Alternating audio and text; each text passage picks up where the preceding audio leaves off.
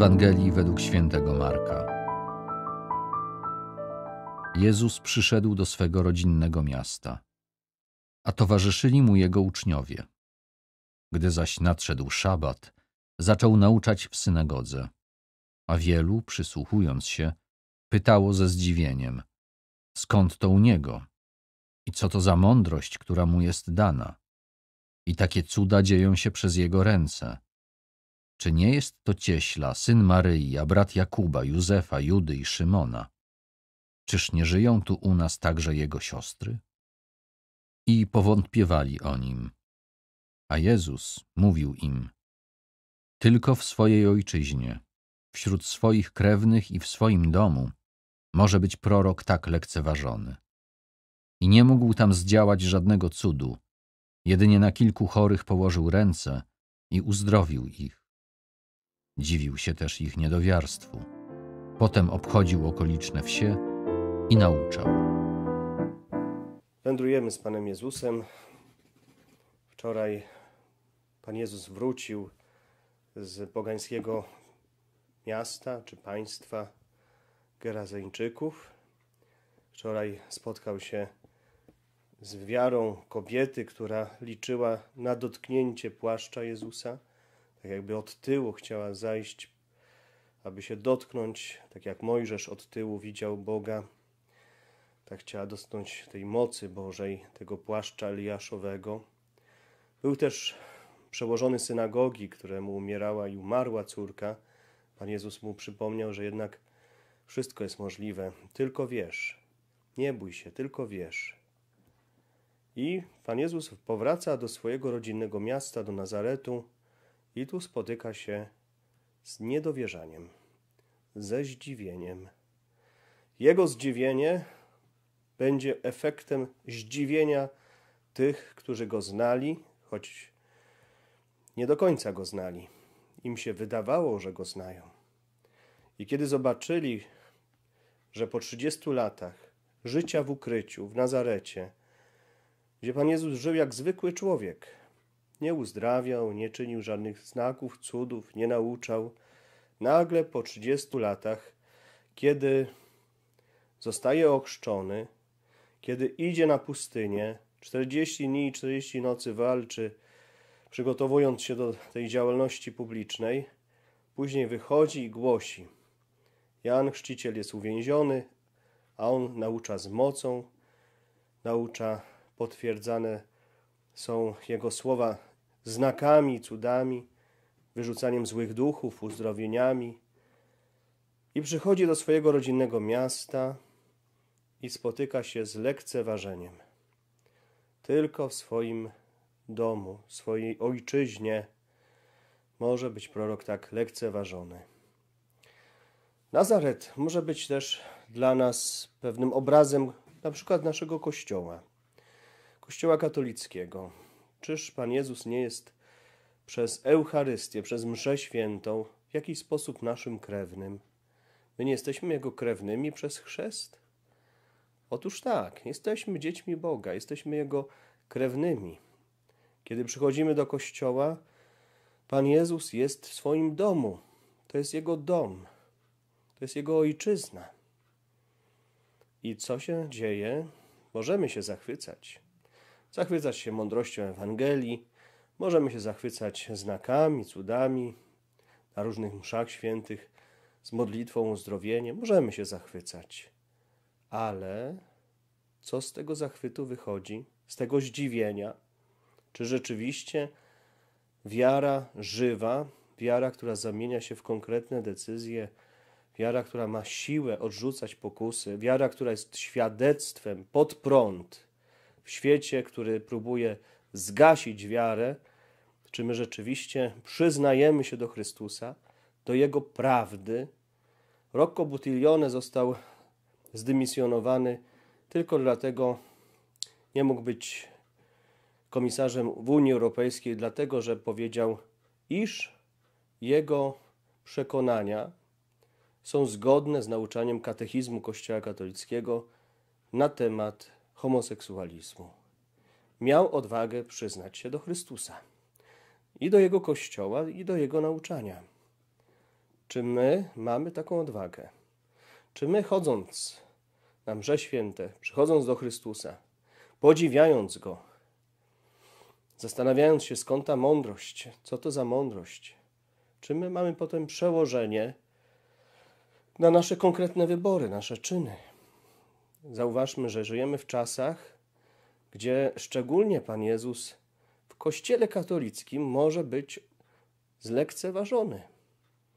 I może być zlekceważony na mszy świętej przez brak szacunku do Najświętszego Sakramentu, czyli do ciała Pana Jezusa.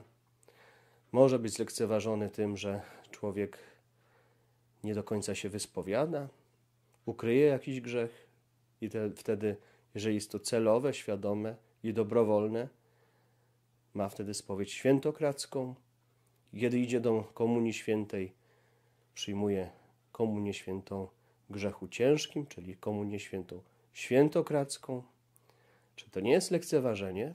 Czy Pan Jezus może tedy takiego człowieka uzdrawiać?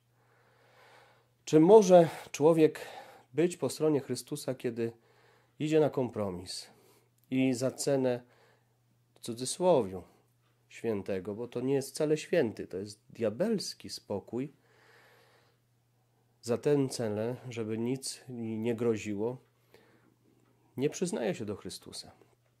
Nie przyznaje się do prawdy objawionej. Nie stoję po stronie prawdy. Czasem jest taka pokusa.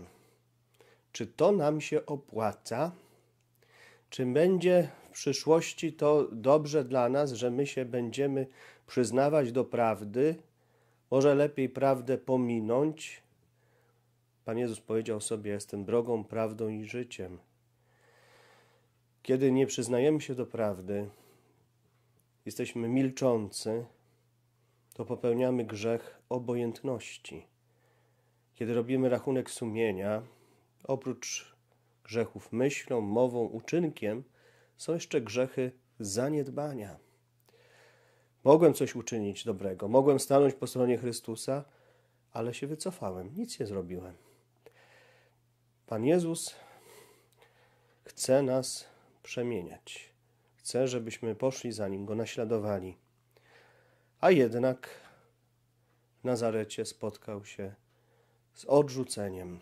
W Ewangelii Świętego Łukasza możemy przeczytać, że to odrzucenie miało nawet formę zrzucania ze skały. Oczywiście Pan Jezus powiedział, że to nie jeszcze Jego godzina, miał moc, objawił tę moc przez to, że przeszedł między nimi i nic nie mogli mu złego uczynić, bo miał taką moc nad wolą ludzką. Dzisiaj Pan Jezus oczekuje od nas, żeby nasza wola się otworzyła na Niego, abyśmy się zdali na Jego prowadzenie. Bo wiara to zawierzenie, zaufanie. Jest wiara, którą wierzymy, i wiara, w którą wierzymy, czyli treść wiary. Często tak ogólnie mówimy, trochę po protestancku, że chodzi o to, żeby ufać Jezusowi, zawierzyć, bo to Pan Jezus jest naszym przyjacielem, jest naszym Panem i Królem. I ważne jest, żeby usłyszeć to, co do nas mówi. Jan Paweł II był często podziwiany, śpiewano na jego cześć, jak odjeżdżał, to wołano: Zostań z nami. Całe tłumy szły, podziwiali go. Przyjeżdżał do swojej ojczyzny, ale czasem, kiedy przychodziło co do czego, kiedy mówił, że naród, który zabija własne dzieci, jest narodem bez przyszłości, to ten sam naród później głosował na tych, którzy byli za zabijaniem tych dzieci. Jesteśmy w tej chwili narodem, w Europie, który prawie zajmuje ostatnie miejsce, jeżeli chodzi o dzietność. I nawet to 500 plus niewiele pomaga, bo już jesteśmy w takim kryzysie. Dlaczego nie słuchaliśmy proroka? Przez słowa, przez osobę Jana Pawła II przemawiał Chrystus. I Chrystus, który mówił o Polsce, Polskę szczególnie umiłowałem i do świętej Faustyny przypominał, że, że jeżeli będzie mi wierna, to ją wyniosę. Czy rzeczywiście jesteśmy wierni? Czas próby polskich sumień trwa. Tak mówił święty Jan Paweł II w Skoczowie. Czy przejdziemy pozytywnie tę próbę, czy będziemy ją lekceważyć? To wszystko zależy od nas. Pan Jezus liczy na nas. Jest pewna nadzieja. Kilka osób uwierzyło w Niego. Nałożył na nich ręce i uzdrowił.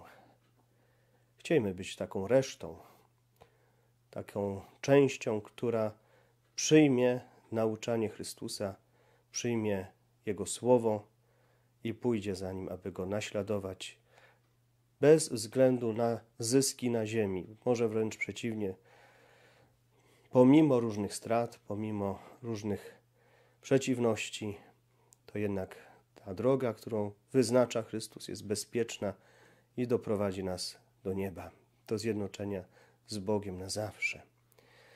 I na tej drodze niech Pan Bóg nam wszystkim błogosławi, strzeże, a Najświętsza Maryja Panna niech też nas uczy, bo pewnie też przykro jej było, kiedy widziała, jak jej syna Jezusa Chrystusa w domu rodzinnym inni bardzo traktują bez szacunku, lekceważąco. Nie chciejmy być w gronie tych krewnych, którzy tak traktują naszego Pana i Mistrza, Króla Wszechświata. Niech tym wszystkim będzie jednak uwielbiony Chrystus. Przyjmijmy Boże błogosławieństwo. Pan z Wami. Niech Was błogosławi i strzeże Bóg Wszechmogący, Ojciec i Syn i Duch Święty. Niech będzie pochwalony Jezus Chrystus.